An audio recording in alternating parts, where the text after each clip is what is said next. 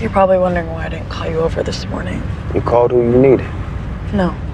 I called who I didn't think I'd be burdening. You saved my life enough times, Spencer. It didn't feel fair to lay this at your feet too after everything. That night at the hospital, after I got shot, you thanked me for saving your life. You remember what I said? You said anytime. And I meant it.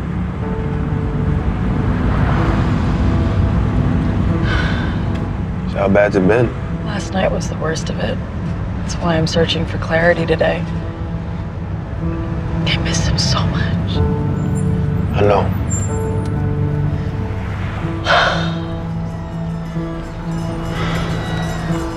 Oh my god. My dad used to love pop-up carnivals.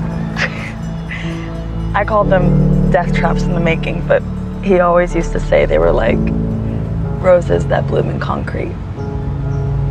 A beautiful surprise.